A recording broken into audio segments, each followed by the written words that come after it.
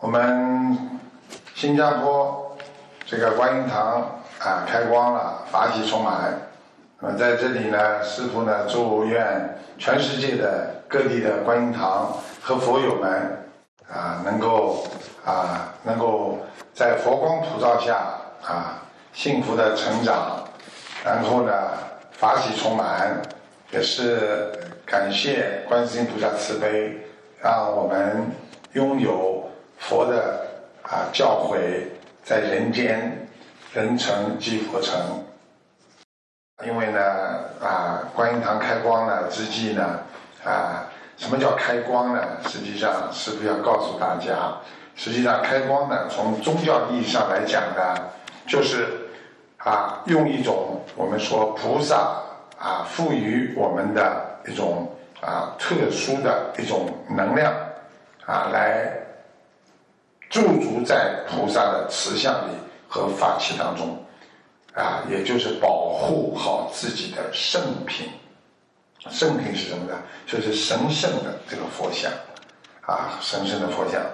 从更深远的意义上来讲呢，就是亲近我们的内心。所以，当一个人说我开光的时候，实际上你不是替菩萨开光。而是让自己心中的佛光能够开启，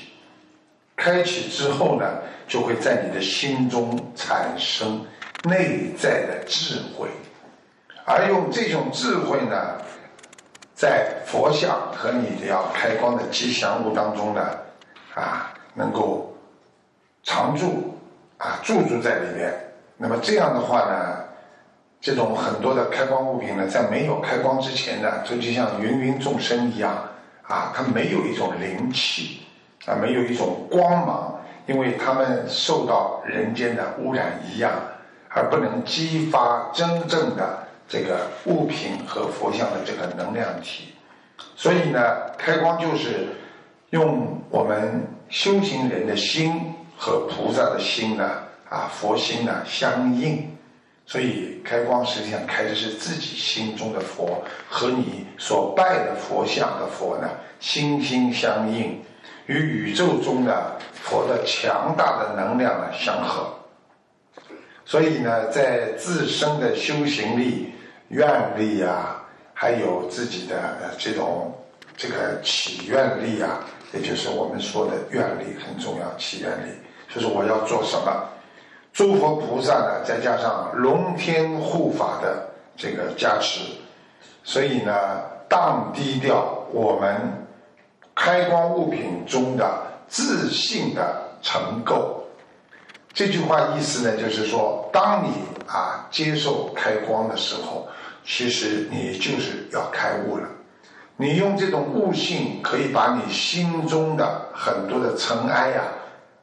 荡涤就是洗涤、洗干净，啊，就不让自己的菩萨的像和菩萨的法器呢，能够沾染上人间的污染之气。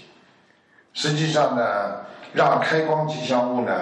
拥有原来它就本身的内涵的能量。